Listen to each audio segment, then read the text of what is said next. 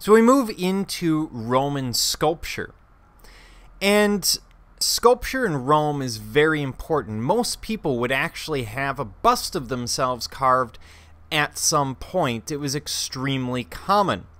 And it's an Italian tradition. What they would generally do is they're not interested in the body, they're interested in the mind. Because for the Romans, the perfect person is going to be a farmer and a soldier when called upon, with great wisdom. And these attributes do not require one to have a really muscular body like we saw from the Greeks. So we're not looking for the body of Stephen Haw- or the head of Stephen Hawking's and the body of an Abercrombie model. We're now looking at just the head because it is the seat of wisdom. And it's a way to celebrate rank. And here we're seeing the head of an old man. And this is actually a little bit misleading because they're using something called verism. V E R I S M. And this is exclusively used for men of old age, usually uh, rulers of Rome. And what they're trying to do is look wise. And to the Romans, the way to look wise is to look older than you actually are, because with age comes wisdom. So that's what we're seeing. And what we get is a bust of incredible detail.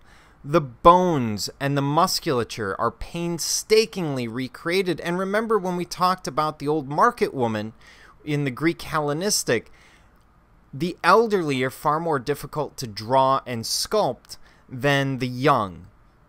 So this is a much more difficult process.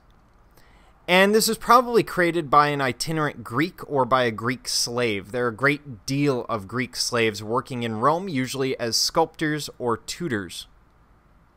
And they would have been more familiar with marble at the time. The Romans, especially early on, are more familiar with terracotta. So we just have the head. And this is the Roman Republic. This is a time of great equality where one's merit is what's supposed to bring them up in society. But that doesn't hold true by the time we get to the end of the Republic. As we get towards the end, we get this portrait of a Roman general. It's actually Pompey. And this would have not would not have made him particularly popular with the Roman people because the Romans had a great belief in humility as a key attribute in social life in their own lives. So they would have never wanted to see someone depicted with that kind of body. And when you look at the head to the body, they don't seem to match.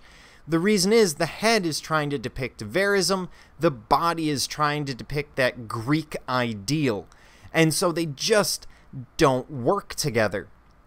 And this was part of what makes Pompey unpopular in many circles. Images like this, where Pompey's trying to show off how powerful he is through these physical attributes that just don't play well with the Romans.